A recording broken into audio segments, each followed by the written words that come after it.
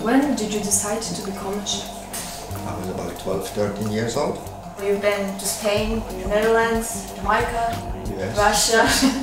and why did you start an academy in Warsaw? I, why I chose Poland because I was the first chef in the Bristol. We opened the Bristol Hotel in 1992, 5th December.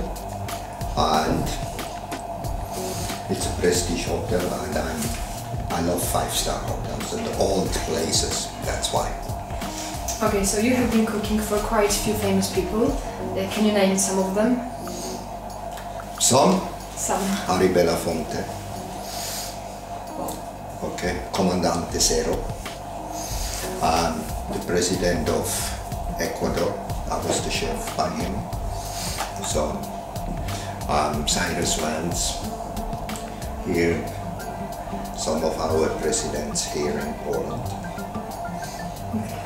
Mr. Nixon, Okay, what is your favorite type of cuisine? fast food.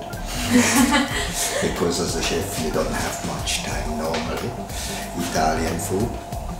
Teenagers crave frequently to eat sweets. How can we replace them? It's not only teenagers. it's also older people, you know. How? Go to the shop. Any shops. Which is the biggest section in the shop? Are sweets. We have to start there. They're promoting the sweets too much. There is one shelf only with 100 types of chocolate, but there is a half a shelf of macarons, rice. So then we should start. Eh?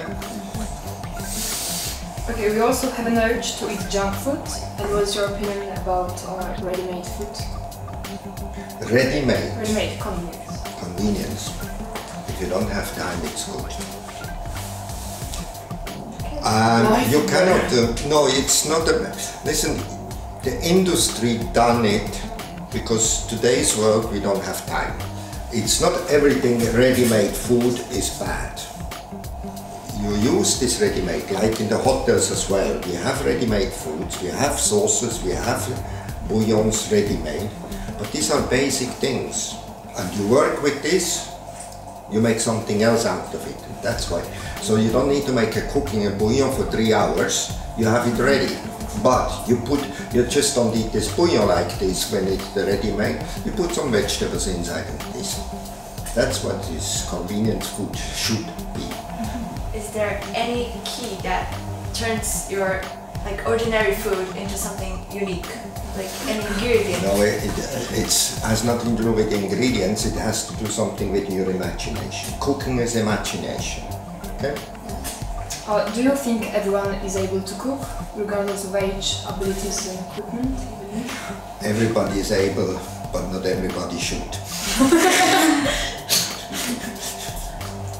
Uh, uh, your name speaks for itself, but for the majority of youngsters, you are recognized by your incredible mustache. And when eating or cooking, don't they bother you?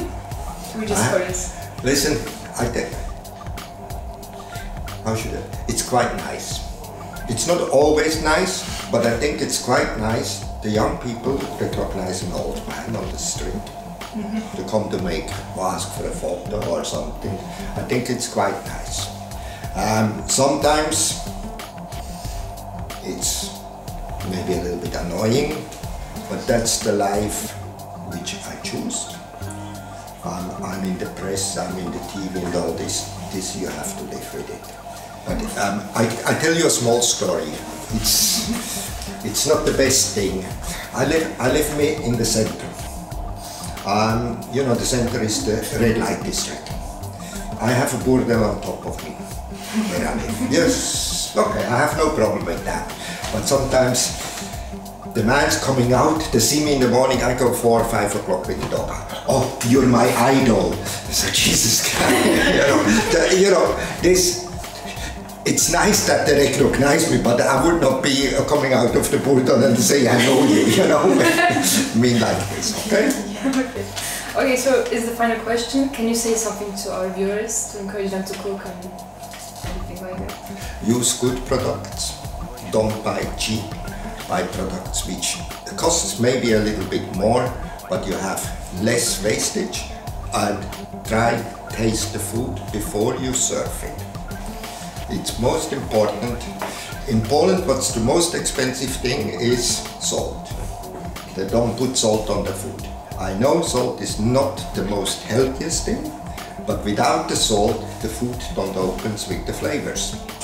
And don't think so always of hotel mama. I know mama is good, and, but one day you are hotel mama. Okay?